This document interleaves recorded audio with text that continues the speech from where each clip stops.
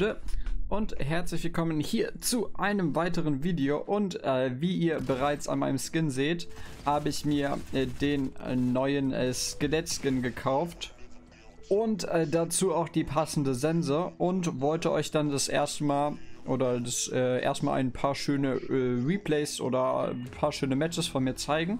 Hier bin ich direkt am ersten Mal äh, Pleasant gesprungen, habe mir die ersten beiden mit der Tag geholt, ein bisschen Luck mit den Headers gehabt, davor ein bisschen veraimt, aber dann richtig schöne Header gedrückt. Hab dann hier in das nächste Haus reingepusht, hab dann danach auch einen gesehen.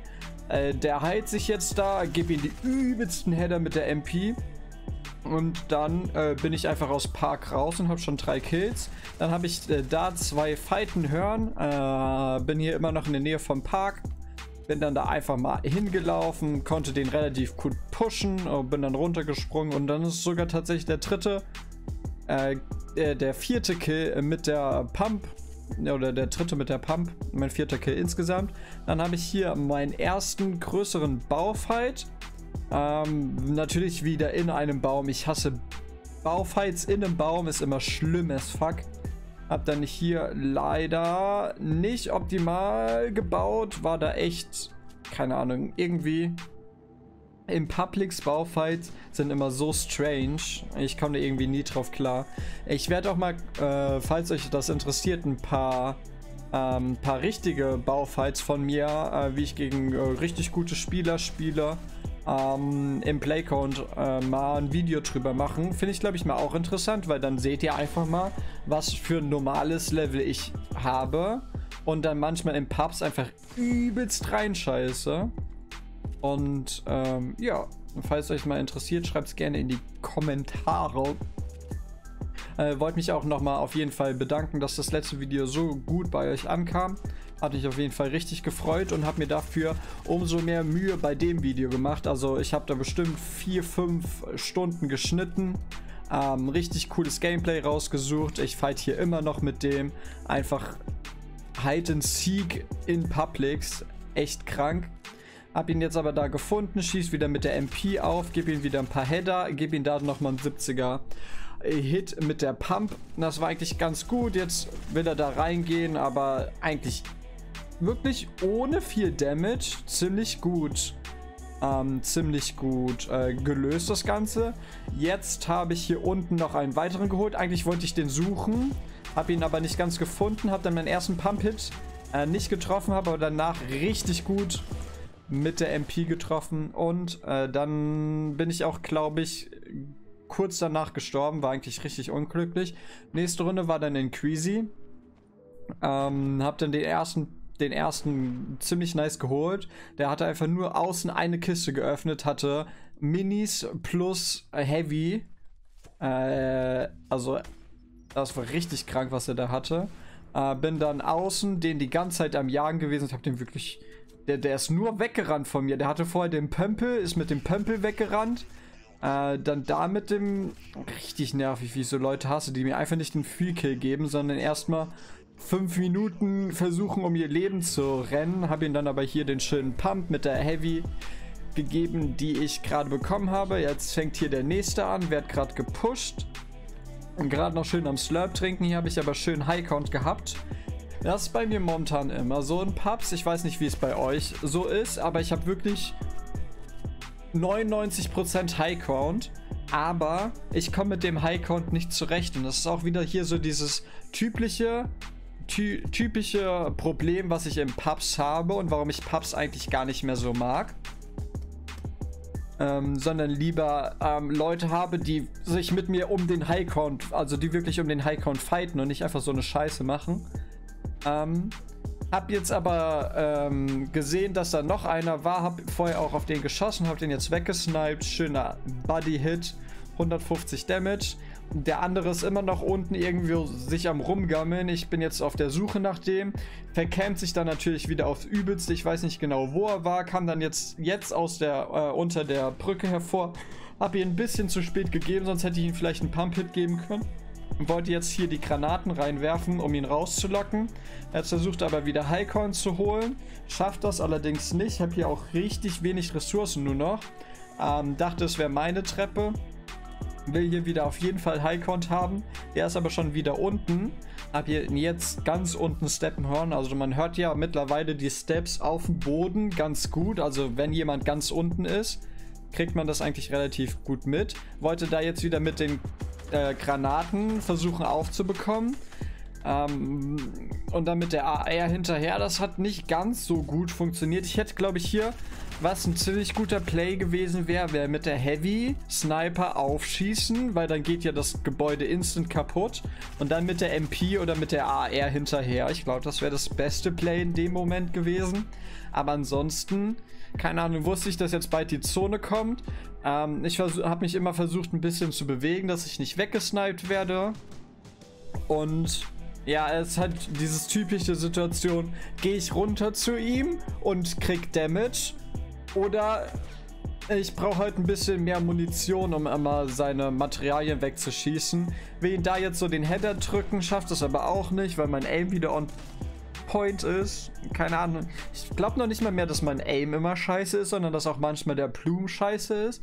Und ich dann zu sehr den Blumen ausgleichen möchte und dadurch dann nicht mehr drauf bin. Ich glaube, das ist mein aktuelles Problem. Habe aber jetzt hier ähm, ziemlich aggressiv gepusht, was ich eigentlich nicht machen wollte. Und äh, dann hatte ich jetzt hier schon wieder vier Kills die Runde. Jetzt bin ich hier ähm, bin, bin, bin ich ein bisschen gebunnyhoppt, äh, bin es am Ausprobieren, werde das auch wahrscheinlich nächstes oder übernächstes Video mal vorstellen, wie das funktioniert, weil das funktioniert mit richtig vielen Sachen. Ich wusste gar nicht, dass das so krass ist. Das war jetzt hier nicht so der gute Boy. Ich hätte hier auch mit der äh, Pump schießen müssen, gehe jetzt hier zu ihm runter, weil ich weiß, dass er echt nicht gut war. Nachhinein, hm, er hätte mir auch gut lasern können.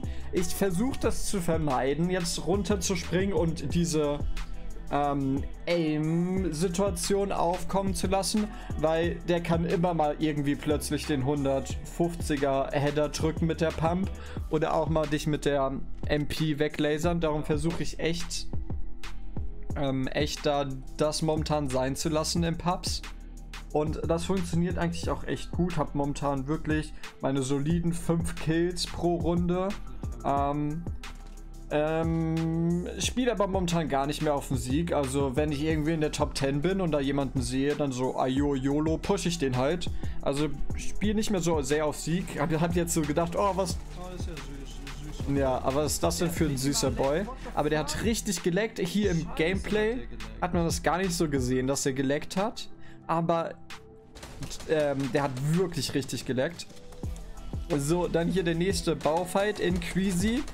Der Gegner hat mal High Count. Das ist, ähm, das äh, habe ich reingeschnitten, weil ich mal, ähm, weil ich mal zeigen wollte, dass ich auch ein Low Count Warrior bin. Er hat hier die ganze Zeit High Count, piekt aber ziemlich kacke raus. Ihr seht die ganze Zeit den Kopf. Und jetzt seht ihr mal, wie schnell man dann Leute lasern kann, auch vom Low Count aus. Und das war eigentlich ziemlich nice. Kisi ist generell momentan wieder so eine meiner Lieblingsstädte weil ich einfach weiß, wo ich hin muss. Und ähm, ja, hier dann mir direkt am Anfang zwei Kills gesnackt. Äh, den ersten, jetzt der zweite richtig glücklich. Da Aim am Anfang wieder on point und da der Header. Er hat halt einfach mit der Pump nicht getroffen, darum muss man immer hoch und runter gehen. Das ist, das ist eigentlich immer ziemlich wichtig. Ähm, und äh, hier fängt es dann äh, an lustig zu werden, einfach mit der Falle. Am random Spots Fallen zu placen ist einfach immer wieder lustig. Ähm, ich hier What the fuck? wurde ich richtig komisch getroffen. Ich weiß nicht, ihr könnt mal reinschreiben, mit was er mich angeblich getroffen hat.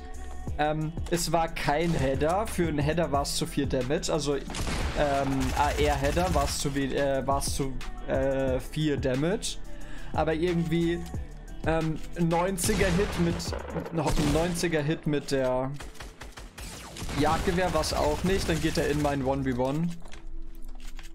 Und ja, in 1v1s. Wie frech kann man denn sein? Immer in die in fremde Leute 1v1s Ja, das war halt, habe ich einfach gesagt, ob, also ich habe noch nicht mal mehr gestreamt und habe einfach genau das gleiche gesagt. Also in 1v1s reinzuspringen ist nicht clever, Boys. Ähm, auch wenn das richtig viele Leute im Pubs machen und es auch manchmal erfolgreich ist, weil die Leute einfach damit überfordert sind. Aber sobald du mal jemanden hast, der damit nicht überfordert ist, ähm, ja, äh, passiert halt das, was da eben gerade passiert ist, oder es wird eine Falle geplaced und dann ist es relativ easy. Ich wusste, dass er hier eine Heavy Pump hat, äh, nicht eine Heavy Pump, sondern die neue Pump und bin deshalb ihm aus dem Weg gegangen, also mindestens ein 1x1 äh, Abstand, weil dadurch macht seine Waffe kein Damage. Hier wunderschöner Jagdgewehr-Hit und dann bin ich da auch wieder bei 5 Kills. Wurde dann noch von jemand anderen angeschossen, das ist momentan auch so nervig. Also 1v1s ist so selten, du wirst immer gethird-partied. Ähm, jetzt habe ich aber, der hat dann versucht, mein Loot zu, zu, also er wollte mein Loot haben, obwohl ich den mit dem Jagdgewehr richtig schön getötet habe. Gib ihm dann hier die ersten paar schönen Hits. Und dann haben wir hier mal wieder einen, äh, wie soll ich sagen, nicht guten, nicht guten Baufight, aber in Pubs hast du halt keine besseren. Baufights. Habe ihn dann, habe ich dann Harry Potter, habe aber auch mitbekommen, dass er, dass er schon wieder unten war. Er geht dann in die Zone, wollte da ein bisschen, äh, ein bisschen Damage machen. Da wieder easy High Count gegettet. Äh, das jetzt, jetzt das so so. Warum hat er sich da Harry Potter? Hätte er sich da nicht Harry Potter, hätte er von mir einen übelsten Pump-Hit bekommen. Ich hätte wieder hochgebaut und hätte wieder High Count bekommen. Das war ein bisschen unglücklich. Und dann fängt es wieder an rum. Also jetzt bin ich wieder auf der Suche, ihm zu suchen. Ich weiß nicht genau, wo er ist. Und das ist halt so nervig. Werde dann von noch jemanden anderen, also quasi der vierte in diesem Fight, der mich, der dann nur auf mich geht. Das ist halt auch wieder so typisch. So, als ob die Gegner sich immer gegenseitig abschießen. Nee, alle nur auf mich. Da versucht er mich jetzt runter zu spleeven. Ich habe ziemlich Angst, weil ich nicht weiß, was wir da alles gebaut haben. Spring dann komplett runter. Gehe dann jetzt erstmal rein, habe ziemlich wenig Leben, sehe da eine Truhe. Medikit oder Slurp. dann Medikit oder Slurp. Ich finde einfach meine Ingame-Reaktion einfach immer die lustigste, weil so, oh, bitte, bitte, bitte, bitte, bitte, bitte, bitte. Ja, die nächste Zone ist schon. ähm, genau, und äh, wir erinnern uns, ich bin in Queasy gelandet und Endzone Risky. Wer kennt's nicht? Äh, Zonenlag Easter. Ähm, zum Glück äh, wenigstens, oder äh, zum Glück Wortwitz on point äh, wenigstens in der Kiste ein bisschen was gehabt. Der Boy, der jetzt hier ist, den höre ich. Und jetzt müssen wir wieder helfen. Ich kenne mich in Tomato Temple nicht aus. Aber wie konnte er diese Falle da platzieren? Wie random kam die denn dahin? Das war wieder komplett random. Hab ihn da weiß getroffen, wusste, dass ich da rumrennen kann. Ähm, dass er wahrscheinlich seine Falle ausnutzen möchte. Und jetzt fängt es dann an, warum ich momentan nicht mehr gerne Pubs spiele. Ähm, das war so der erste Tilt-Moment, den ich hatte. Ähm, ich weiß nicht, also der war wirklich, äh, ich habe nachher geguckt, ich glaube war, war ein Typ mit irgendwie 40% Win-Ratio in Solo. Also er war schon gut, aber ich war in der Situation ihm so überlegen, die ganze Zeit.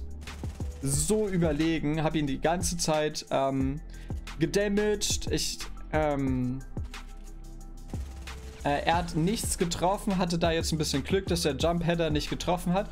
Geh jetzt runter zu ihm und guckt euch das an. Ein 80er Header. What? Das war ein 80er Hit? Never. Ein 80er Hit.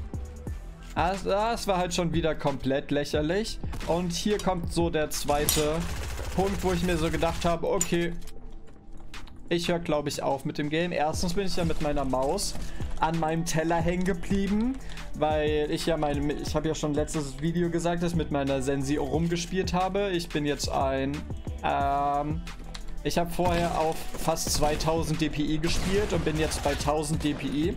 Also richtig runtergegangen, da übelst gechoked, habe mich die ganze Zeit missplayed. So, da habe ich auf den Header gewartet, easy getroffen. Und dann man kennt ihn, findet die neue Waffe, freut sich schon wieder so easy Gameplay, denkt sich so ein Mini geht auf jeden Fall. Da sieht man den Sniper-Schuss. RIP. Einfach nur RIP. Wenn ihr das Video bis hierhin geguckt habt, äh, hoffe ich, äh, dass es euch gefallen hat. Äh, wenn ja, dann lasst mir doch auf jeden Fall ein Like da. Und äh, wir sehen uns beim nächsten Video oder beim nächsten Livestream. Und hier gibt es nochmal zwei Videos, die ihr euch äh, angucken äh, könnt, wenn ihr wollt. Und ich sage Tschüss mit Ö.